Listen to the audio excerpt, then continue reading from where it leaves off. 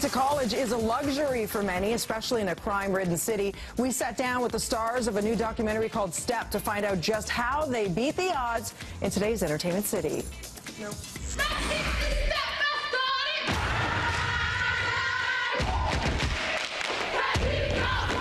Step is a real-life documentary that follows a girls' step dance team through their senior year of high school. While working on perfecting their moves, the girls also strive to be the first in their families to go off to college against all odds of a troubled inner-city Baltimore. School is what got me out of Brooklyn. College is what's going to get you out of Baltimore.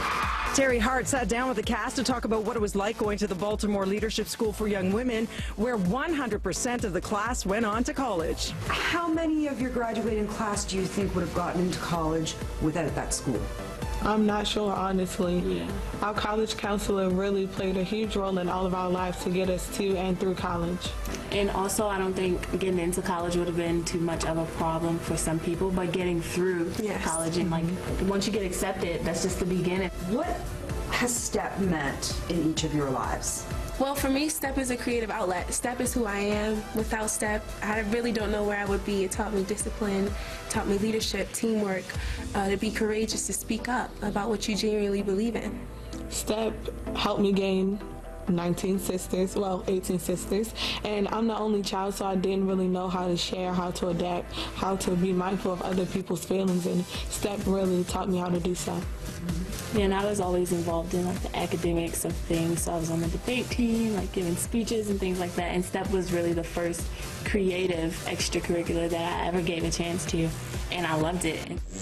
Another star who stepped her way into stardom and our hearts back in 2003, Jessica Alba. I like that. Your flavor's hot. Her moves in Honey were a hit, and so is her street style today as the ultimate mom to be. Tanya Kim caught up with stylist Afia Francisco for today's Fresh Edit to find out just how she does it. It is Friday Fresh Edit time, and it's also the middle of August, which means it's back to school.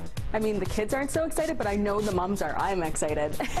Jessica Alba, mom on the go, crazy entrepreneur. That's it. She's doing it all, and she always looks good doing it. I love this because this is the kind of outfit that you're going to go from running errands to work to pick up.